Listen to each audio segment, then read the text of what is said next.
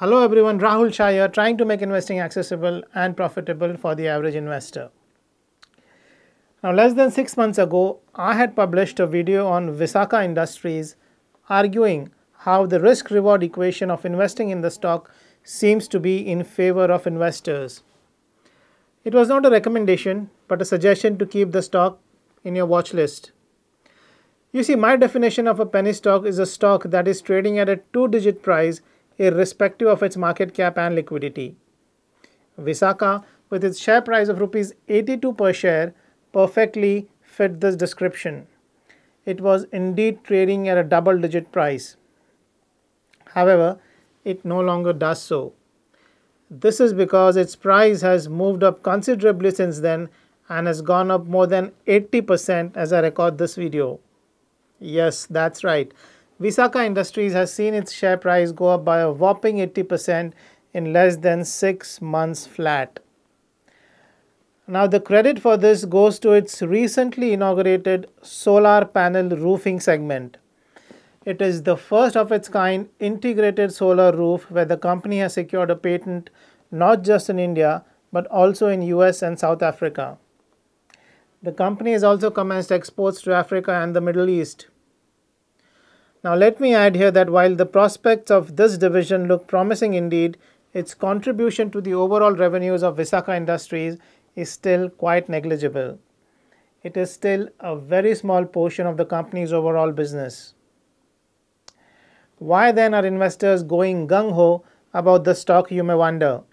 Why has it gone up 80% in the last six months despite the monetization of its solar roof division being negligible so far? While the stock price appreciation seems to be the consequence of Prime Minister Modi's big announcement of last month. You see, immediately after the Ram Mandir consecration, Prime Minister Modi set the ball rolling on a new scheme to boost rooftop solar installations. Now, here's him outlining the plan. I quote Today, on the auspicious occasion of the consecration of life in Ayodhya, my resolve has been further strengthened that the people of India should have their own solar rooftop system on the roof of their houses. The first decision I have taken after returning from Ayodhya is that our government will launch Pradhan Mantri Suryodaya Yojana with the target of installing rooftop solar on 1 crore houses. Unquote. Now, this is big. Just to put things in perspective, only about 7 lakh households are estimated to have rooftop solar installations currently. Modi's new scheme proposes to multiply this number by a whopping 15 times. No wonder stocks like Visaka Industries, which have expertise in this area, have suddenly become the new favorites with the investors. On 20th January 2024, the last trading day before Modi's big announcement, Visaka Industries was priced at rupees 102 per share. In almost a one way ride since then, the stock has climbed more than 40% and looks primed to go even higher. Those are big gains indeed. However, let's wear the hat of a contrarian investor for a moment and think whether this euphoria is justified. After all, we have no idea whether this deal will take off and to what extent. And even if it does, how much of the benefits will flow to companies like Visaka Industries? And hence, unless we have some numbers to rest our opinions upon, investing in the stock just because of the massive announcement is akin to indulging in speculation, in my view. Here's how I will evaluate the situation. When I came out with the video, the stock was trading at a small discount to book value.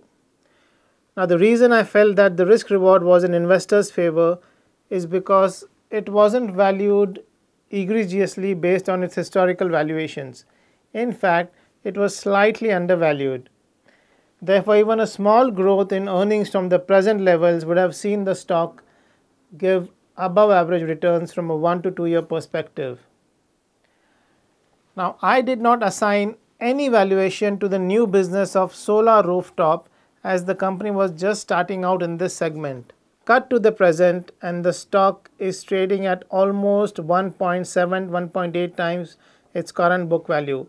This means that the new business is being valued nearly as much as the current business.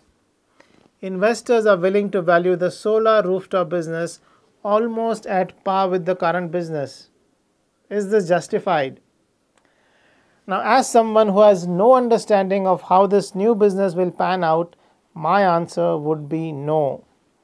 Since I have very little knowledge of the new business, I would be more comfortable not assigning any value to it and evaluating the stock based on its current earnings power.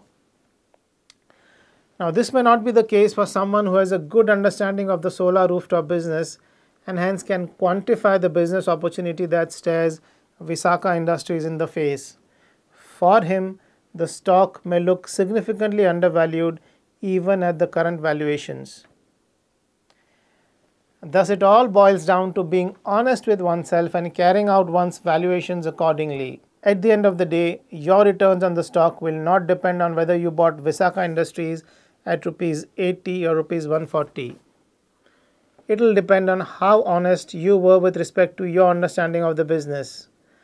If you believe its best days are still ahead of it, you can make money even at the current valuations.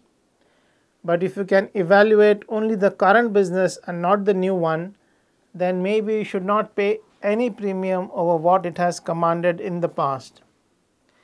Now, the approach may sound simple, but trust me, it can take you quite far in investing.